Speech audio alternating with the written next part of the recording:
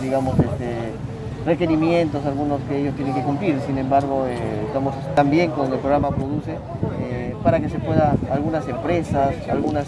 eh, digamos, comercios que quieran cambiar, digamos, de, rubro y acceder al programa, digamos, a, esta, este subsidio económico que va a apoyar el Estado en adelante para que se pueda dar una capacitación y también este, una actualización de la información, sobre todo para que ellos puedan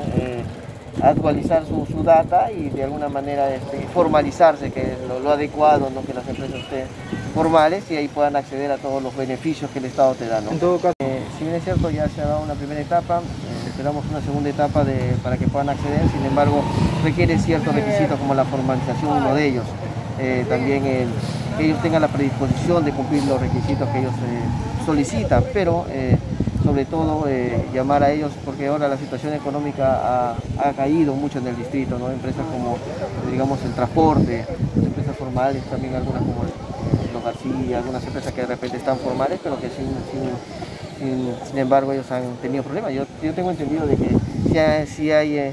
si hay algunas empresas que han hecho los requerimientos y los, y los pedidos, pero que en esta oportunidad están a la espera de que se puedan este, acceder. Hablemos de disposición, estamos ahora a la espera de la fecha, lo que es con el amigo Eric Benavides, quien es este, el encargado de mi empresa, para que se pueda hacer una capacitación virtual en cuanto a los servicios digitales y a la formalización también de manera digital, eh, de tal manera de que ustedes han podido darse cuenta eh, existe, digamos, mucho el comercio ahorita en redes sociales, entonces lo que queremos es darles una alternativa, pero de manera adecuada, que puedan utilizar todos los medios digitales y eso sí, yo voy a hacer un llamado cuando ya eh, se tenga la formalización adecuada de esta,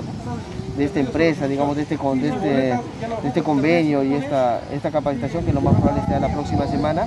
para que ellos puedan acceder y acá los medios también nos permitan en sus plataformas virtuales se puedan comunicar y puedan este, ellos tener mayor aceptación y sobre todo mayor difusión. Nosotros este, estamos buscando los mecanismos con distintas eh, entidades del ministerio y programas para que pueda eh, reactivarse económicamente,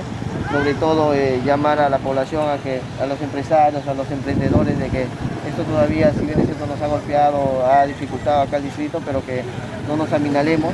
sobre todo busquemos siempre el desarrollo y sobre todo busquemos eh, buscar una nueva esperanza en, este, en esta emergencia sanitaria. Yo creo que Dios mediante todo esto va a pasar y vamos a seguir siendo el pueblo que siempre ha sido, ¿no? el pueblo de pujantes, sobre todo de emprendedores.